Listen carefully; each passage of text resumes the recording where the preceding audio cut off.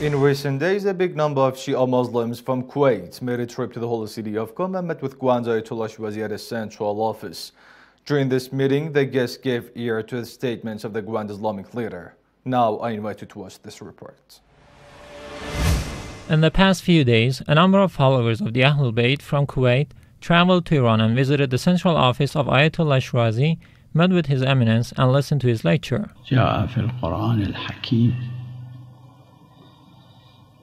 نقلا عن قول إبليس لأقعدن لهم صراطك المستقيم ثم لآتينهم من بين أيديهم ومن خلفهم وعن أيمانهم وعن شمائلهم ولا تجد أكثرهم شاكرين. إبليس هكذا قال لله تعالى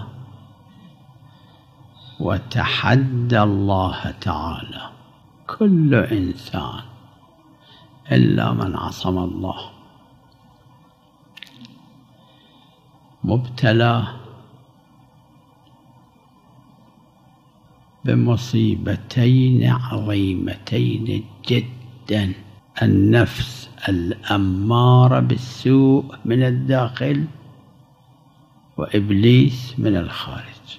لكن الله سبحانه وتعالى بعدله بفضله برأفته على عباده جعل صمام أمان للإنسان. من الداخل العقل ومن الخارج In his lecture, the eminent Ayatollah Shirazi recited some Quranic verses and warned of the internal and external enemies and said, The internal desires are our most dangerous internal enemies, and if we neglect them for even a small fragment of time, they could ruin our lives in this world and the hereafter. However, the external enemy is Satan, who was cursed by Almighty God and made it his cause to deceive the humankind through negligence and taking advantage of their actless heels. Nonetheless, Almighty God has given us the means to ward off these two enemies. The means are internal and external as well. The internal means is the light of reason, and the external is the prophets and their successors. أما الإنسان المهم أن لا يغفل يستفيد من صمام الأمان الله أجرى الشيطان في ابن آدم مجرى الدم. الشيطان تحدى الله تعالى. الله سمح له وتحداه بالنسبة لنا نحن البشر. أنتم مواجه مواجهون لمثل هذا العدو اللي يجري مجرى الدم وهالشكل متحدي الله. لأقعدن لهم صراطك المستقيم. واحد واحد.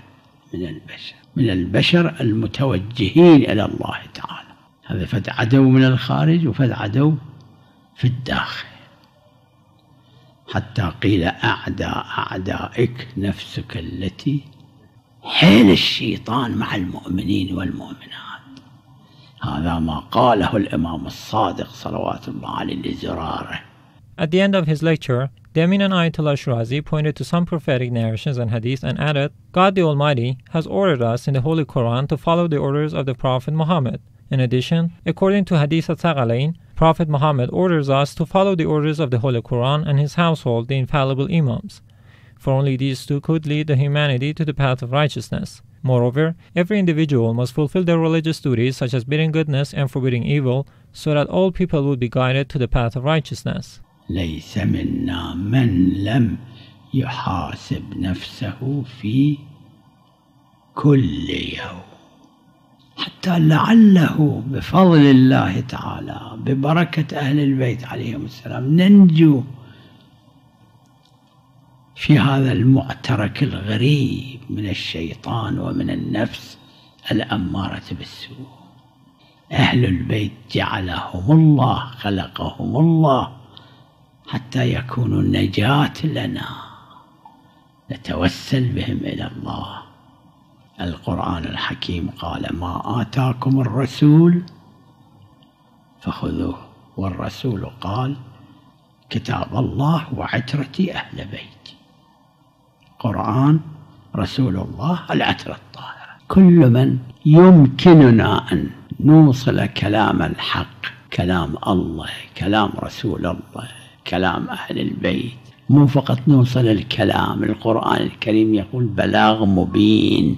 هذا اسمه أمر بالمعروف والنهي عن المنكر. هذا واجب كفائي على الجميع رجال ونساء. إن لم تكن فيها الكفاية يكون واجب عيني وهسه ماكو كفاية. وين كفاية؟ فواجب عيني الآن. بالمقدار اللي واحد ما يقدر هو ما يقدر معذور وبالمقدار اللي يقدر لا يقصر